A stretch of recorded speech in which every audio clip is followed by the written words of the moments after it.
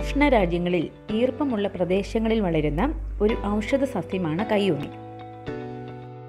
കയ്യൂന്നി കയ്യോന്യം കഞ്ഞുണ്ണി എന്നീ പേരുകളിലെല്ലാം ഇവ അറിയപ്പെടുന്നുണ്ട്. സൂര്യകാന്തി ചെടിയുടെ വർഗത്തിൽപ്പെട്ട ഒരു സസ്യമാണിത്. ട്രഡീഷണൽ ആയുർവേദിക് മെഡിസിനിലെ ഒരു ചേരുവയാണ് ഇത്. മുറ്റത്തും തൊടിയിലുമെല്ലാം ധാരാളം ഈർപ്പമുള്ള സ്ഥലങ്ങളിൽ ഇവ നന്നായി വളരുന്നു. മുടി വളരുവാനും കാഴ്ചശക്തി വർദ്ധിപ്പിക്കാനുമെല്ലാം ഇവ ഉപയോഗിച്ചു വരുന്നുണ്ട്. കരളിന് നല്ലൊരു ടോണിക്കായും ആയുർവേദത്തിൽ ഉപയോഗിക്കുന്നു. കരൾ രോഗങ്ങളെ ശമിപ്പിക്കുവാനും കഫരോഗ ശമനത്തിനും ഫലപ്രദം.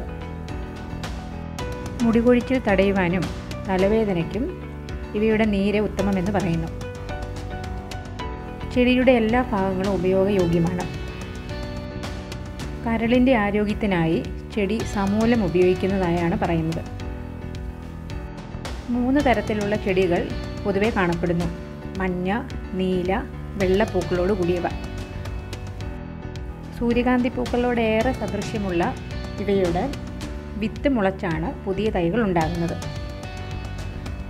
മുടി വളർച്ചയ്ക്ക് ആവശ്യമായ എണ്ണ തയ്യാറാക്കുന്നത് ഇലകൾ ഉപയോഗിച്ചാണ്. മണ്ണിൽ കൂടാതെ ഗ്രോ ബാഗുകളിലും കണ്ടെയ്നറുകളിലുമെല്ലാം വളർത്തിയെടുക്കാൻ സാധിക്കും.